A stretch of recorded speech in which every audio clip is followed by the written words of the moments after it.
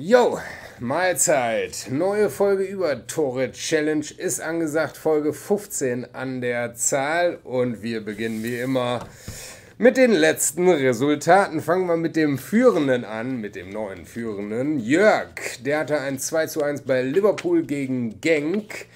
Ein 1 zu 1 bei Atlanta gegen Man City und die Euroleague hatte er mit Apoel gegen Karabakh ein 2 zu 1. Insgesamt 8 Tore. Da denkt man doch, das ist doch wohl locker zu packen. Ja, vielleicht. 1 zu 0 PSG hatte ich.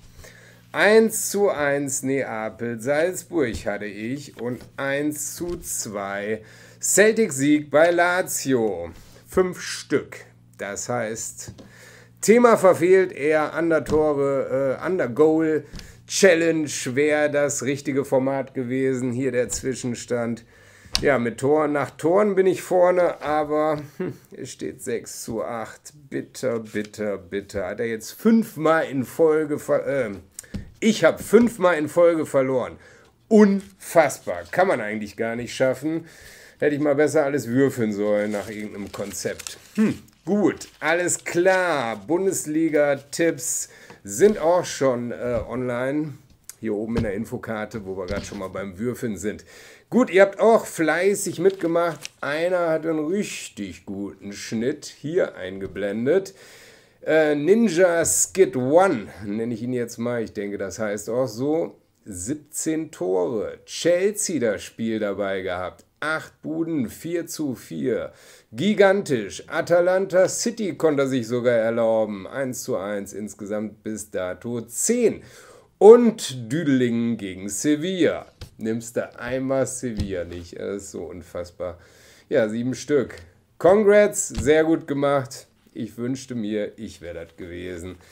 Und würde da mit draufstehen. Aber was soll es? Macht gerne alle wieder mit in der, im angepinnten Kommentar das Regelwerk. Alle Ligen laufen. Ich fange diese Woche an mit der Bundesliga-Partie. Number One fällt mir diese Woche relativ ja, unschwer, denn ich nehme gerade mal die bestlaufendste Maschine und das ist RB Leipzig. Die machen gerade Buden und ja gut, nur 2 zu 0 bei Zenit St. Petersburg, aber wie oft verlieren die zu Hause 0 zu 2? Das haben die sehr souverän gelöst. Und letztendlich, wenn man das so hm, vergleicht, hat das, schließt das schon an an, dieses, äh, an diesen Kantersieg in Wolfsburg im Pokal und das 8 zu 0 gegen Mainz. Und gegen Berlin, da machen sie gern Schützenfest auf, wenn man sich die letzten Resultate dieses Aufeinandertreffens anschaut. À la Bonheur, was es da an Hütten gibt. Und deshalb gerne diesmal wieder. Ich muss ja mal wieder eine Runde gewinnen.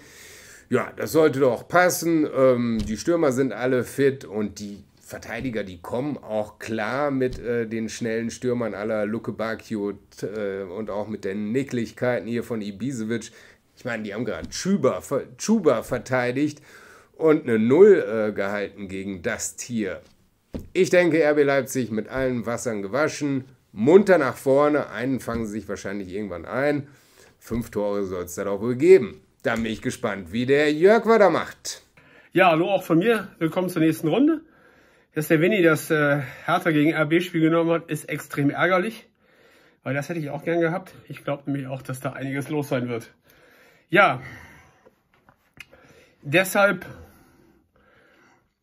muss ich was anderes nehmen und ich nehme Paderborn gegen Augsburg.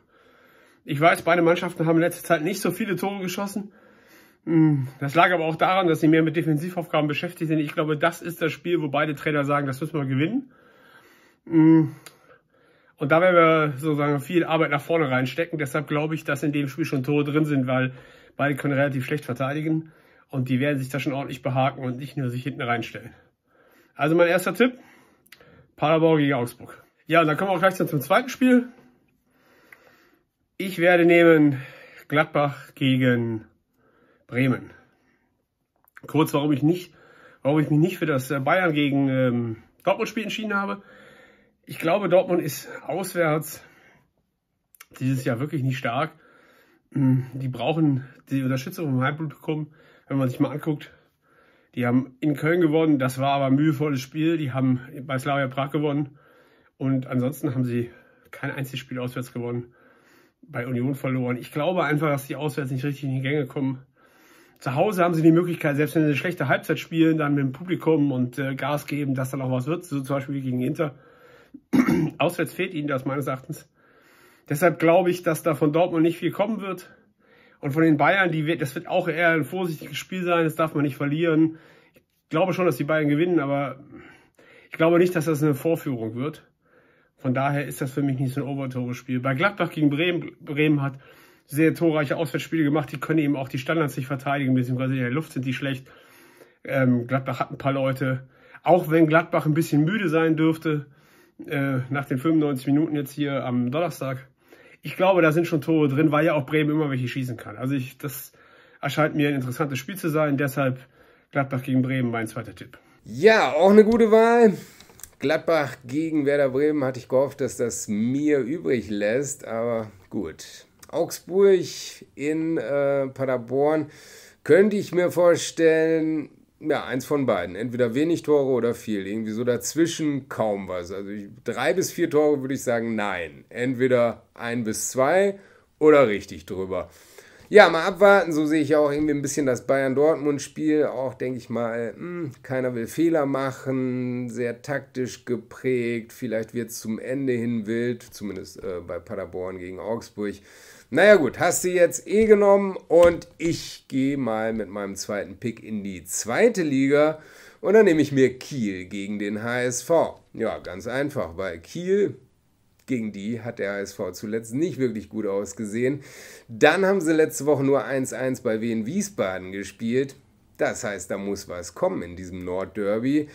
Ja, und HSV hat eine ganz gute Offensive und wenn die einmal in Fahrt kommen, und ich habe die Kieler auch die letzten Wochen gesehen, finde ich schon sehr imponierend, wie die immer weitermachen, egal wie der Spielstand gerade ist. Ich musste letzte Woche tatsächlich um meinen Siegzettel auf Arminia Bielefeld ganz schön zittern und auch die Wochen davor habe ich echt Probleme gehabt, Holstein Kiel einzuschätzen. Deswegen lasse ich auch nach dem Bielefeld-Spiel so ein bisschen die Finger davon. Aber die können auch jederzeit Tore finden. Die entwickeln sich gerade wirklich richtig, richtig gut. Ja, und der HSV, der muss den Fans jetzt wirklich was zeigen, dass die mal gegen Kiel gewinnen können. Also das ist ja die letzten Male echt eine gute Schmach gewesen. Wie gesagt, dann beim Tabellenletzten nur ein Punkt, trotz Unterzahl Wien, glaube ich. Ja, da muss was kommen vor der Länderspielpause. Ja, deswegen komplettes Engagement. Bei Kiel gibt es das eh vor heimischer Kulisse in dem Topspiel und daher fallen da Buden. Also so vier, fünf, hoffe ich doch mal. Gut, dann nehme ich international, habe da die erste Wahl. Da nehme ich Barca gegen, gegen wen spielen sie nochmal? Celta Vigo, genau. Ja, hat es äh, auch schon ein paar Mal richtig, richtig Hütten gegeben. Zudem Barca ebenfalls. Das letzte Mal 0-0 gegen Slavia Prag, das Publikum nicht verwöhnt ja, alle mit gesenktem Kopf vom Platz und auch das Zusammenspiel vorne nicht so dolle geklappt. Luis Suarez wird wahrscheinlich fehlen, beziehungsweise meine Hoffnung, dass sie den irgendwie noch fit kriegen.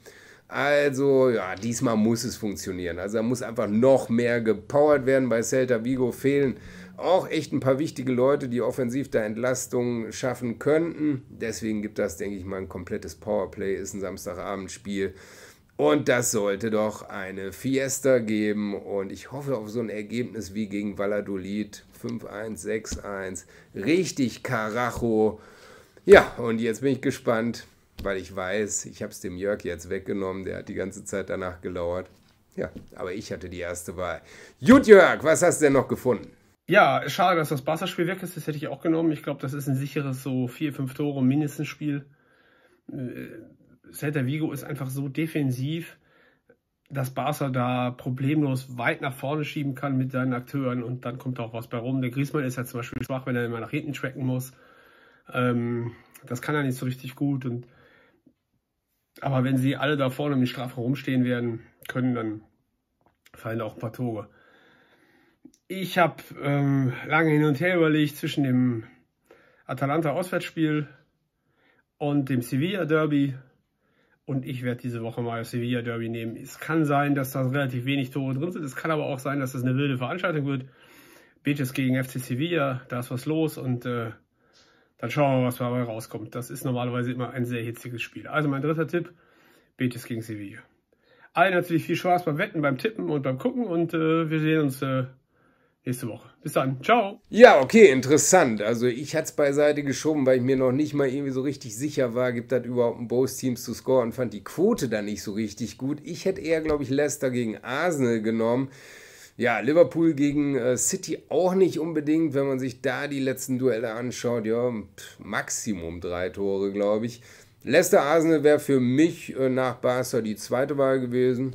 Aber gut, probierst es halt mit dem Sevilla Derby. Gut, jetzt bin ich gespannt, was ihr habt. Haut's wieder in die Kommentare, dafür sind sie da. Eure Picks und wollen wir doch mal ordentlich welche an den Start kriegen und eine riesen Liste von Teilnehmern haben. Ja, gut. Ähm, Sportwetten zum Wochenende. Hier oben in der Infokarte könnt ihr euch natürlich auch reinziehen. Da sind die Tipps von Freitag und Samstag bisher nur erfasst bzw. bekannt gegeben. Sonntag äh, wird es auch noch eine neue Folge geben. Müsst ihr mal zurückgucken, auch auf das BVB Bayern-Spiel. Ja, und vielleicht auch eine kleine Vorschau zu Liverpool City. Mal schauen. Sonntag dann, äh, ja, halt die nächste Folge. Und bis dahin erstmal schönes Wochenende und viel Erfolg bei eurer Auswahl. Ciao!